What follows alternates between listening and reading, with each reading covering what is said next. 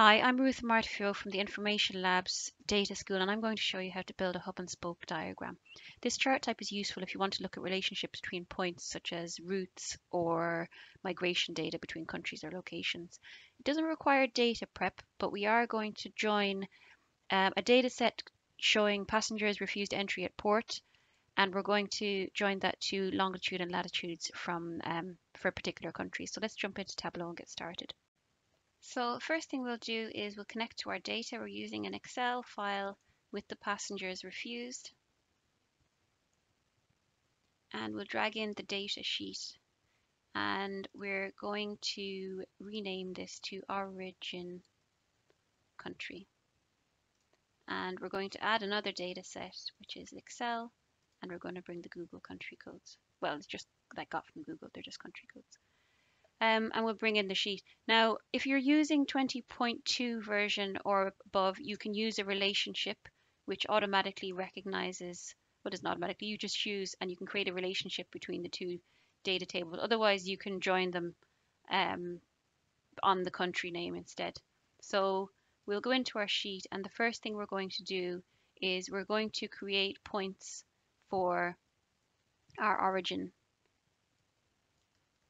point.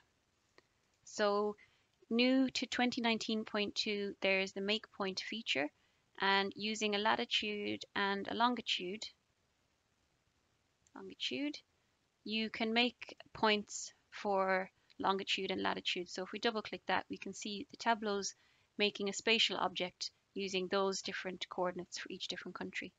Um, now looking back at our data, Typically, if you're going to use make point, you'd have um, an origin, longitude, latitude, a destination, and their longitude and latitude.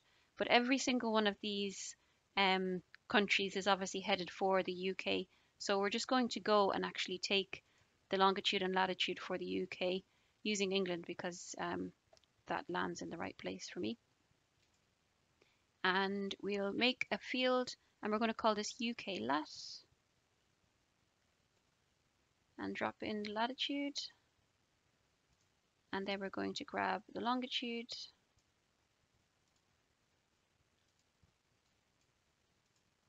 And we'll drop in the UK long. And now we have a longitude and latitude for the UK. We can do the exact same thing as we did with the origin point. So we'll just duplicate that. And for this copy, we can just drop in our new latitude and our new longitude and we'll call that UK point. And then that's going to obviously roll down the whole way through the table um, for every for every every country. Um, so now that we have a point to come from and points to go to, we can make our journey. So we'll use, again, new to 2019.2, we can use the make line function, which goes from one point to uh, the other point.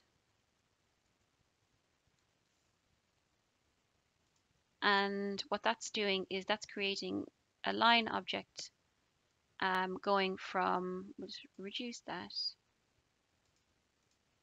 And it's going, showing all of our um, countries going into um, the UK. Now, uh, what you can't do here is doing things like adding space or you can't size them independently. So if you want to see extra information relating to maybe the numbers of people coming from each country, you can have um, control copy, control drag your latitude, and then for your second one, instead of having this collected object, you can just put your country name onto detail and your number of passengers, and then you can create a dual axis. And we'll maybe put that to the back just so that these lines in front show up more clearly. Probably don't need that. And those are all your points going in. So you can see you've got this many from Brazil, a lot from the US as well are heading in towards the port and getting stopped. Um, now, another things you could do maybe is you could just drag in your region and your number of people. I will just drag that down to text and make that a little bit light. And you can do things like maybe if you just have a quick um, figure for the total number of people um, coming in. Okay. And maybe we'll add the year on as a filter. Okay, so if you go to your dashboard, you can drag your map onto your chart and your regions and your little summary figure here. I've lost interest in adding a year filter.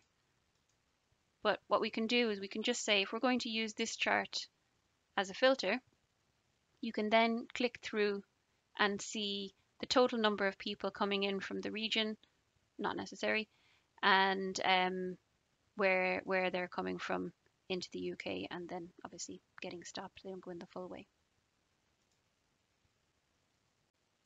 Thanks for watching this video and I hope you now feel confident to work with spatial objects in Tableau yourself. You'll find all of the referenced data and workbooks in the description below. And if you enjoyed this video, you'll also like how to build an organizational chart by my colleague Gregory, which also looks at visualizing relationships between data points. Click the link to watch it next.